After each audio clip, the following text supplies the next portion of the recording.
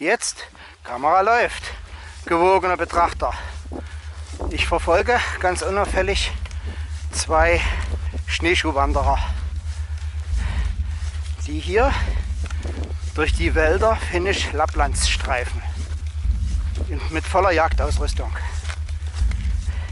Was diese unbedarften Schneeschuhwanderer nicht wissen, die Bären halten Winterschlaf. Sie werden also kein Jagdglück haben. Oh, gut.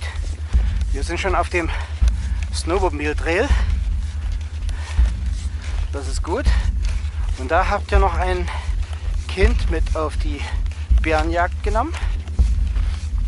Wir können auch dem gewogenen Betrachter etwas über das Wetter sagen. Wir haben heute sehr mildes Wetter, minus 6 Grad und es schneit ganz leicht. Ist auch kein starker Wind.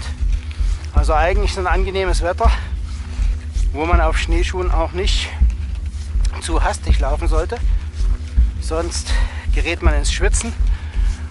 Und das ist natürlich in diesen Breiten auch durchaus gefährlich, wenn man dann verschwitzt ist und dann in einer Pause so auskühlt aufgrund der vielen Feuchtigkeit am Körper, dass man dann ganz schnell umschlägt ins Frieren, ins starke Frieren und Unterkühlen.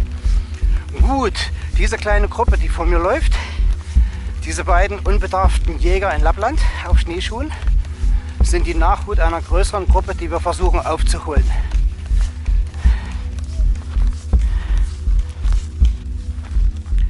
So, den Rest der illustren Jagdgesellschaft auf Schneeschuhen sehen wir da vorne stehen.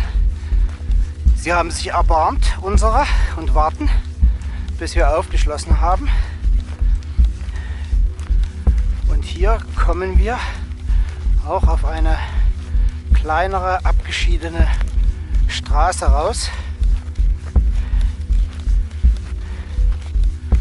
Der wird dann ein Stückchen nach links. Ich würde sagen, das ist dann auch in Richtung Norden folgen werden.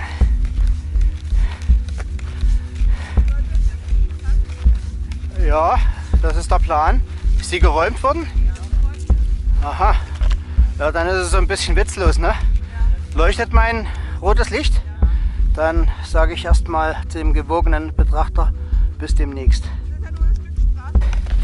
So, da sehen wir, ist die Straße gesperrt. Die führt dann geradewegs zum Nordpol. Wir aber weichen jetzt hier ab. Hier geht rechts eine verwunschene Straße weg und der folgen wir dann weiter.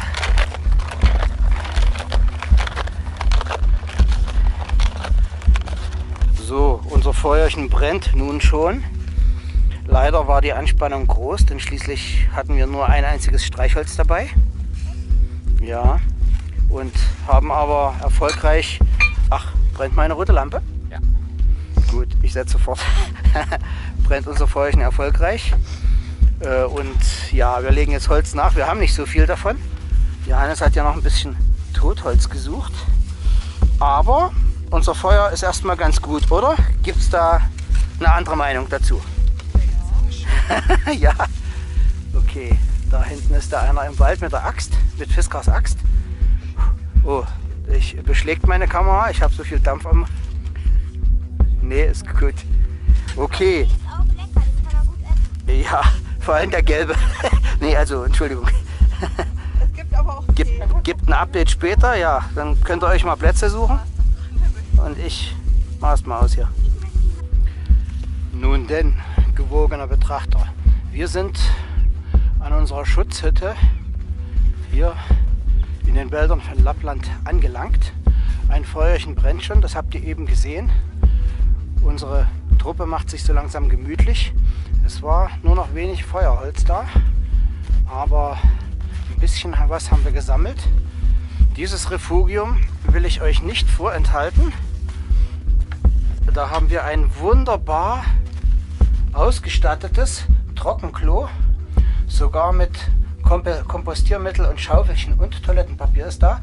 Also man kann sich nicht beklagen, selbst wenn man, ähm, ja, ich sag mal, die äh, Annehmlichkeiten der Zivilisation wirklich gewohnt ist, findet man das hier auch. So, des Weiteren, eigentlich ärgerlich, aber das Holzdepot, das ist leer. Hier ist nichts drin. Wir haben aber ein paar Reste an der Schutzhütte, ich mache mal den Riegel zu, an der Schutzhütte gefunden und ein bisschen was auch noch selbst gesammelt. So, und jetzt macht hier jeder seins offensichtlich. Aber hier unsere Starfotografin bereitet bereits eine Fotosession vor. Fotografiert Details, zum Beispiel wenn es in den Wäldern von Lappland auch sonst nichts gibt. Aber man findet stets eine Fiskars-Axt. Das ist das Überlebenswerkzeug hier in, in Lappland. Gut, wenden wir uns nochmal der Schutzhütte zu, umkreisen sie vorsichtig und sehen, es knistert ein lustig Feuerlein. Und wir haben hier Schutz gefunden. Entschuldige, ja, aber ich bin gerade voll auf... Leuchtet die rote Lampe? Ja. Gut, dann sehen wir euch alle. So, das ist unser Refugium. Und hier, habt ihr das schon beschlossen, hier verbringen wir die Nacht?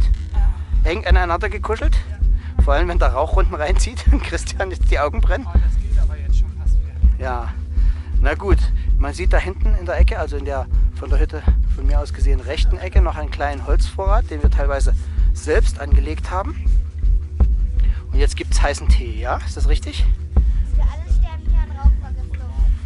Ja, so ist das. Menschen, die mit offenem Feuer leben müssen, die keine Heizung haben, keine ökologische, die müssen halt mit ihrem frühen Ableben rechnen wegen Feinstaubs.